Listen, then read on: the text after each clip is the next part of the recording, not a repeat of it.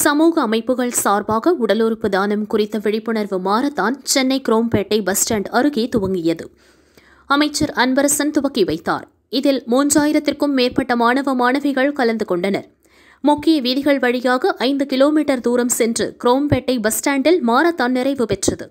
இதில் வெற்றி பெற்றவர்களுக்கு பரிசுகள் வழங்கப்பட்டன.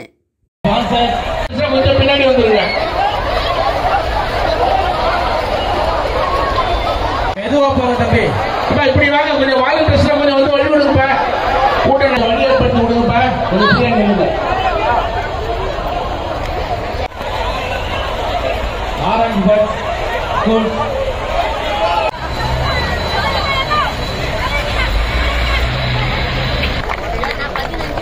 அழைக்கிறோம். நான்காவது பாபிலோனா. கிருத்திகா. ஜாட்டோச்சியோடைய ஒருங்கிணைப்பாளர் மாநில ஒருங்கிணைப்பாளர்.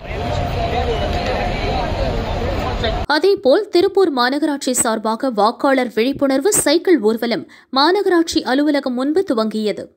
மாநகராட்சி கமிஷனர் பவன்குமார் ஜி கிரியபனவர் துவக்கி வைத்தார்.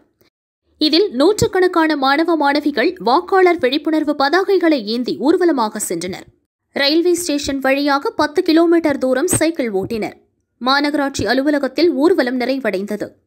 தேர்தல் துணை தாசில்தார் வசந்தா உள்ளிட்ட அதிகாரிகள் இதில் பங்கேற்றனர்.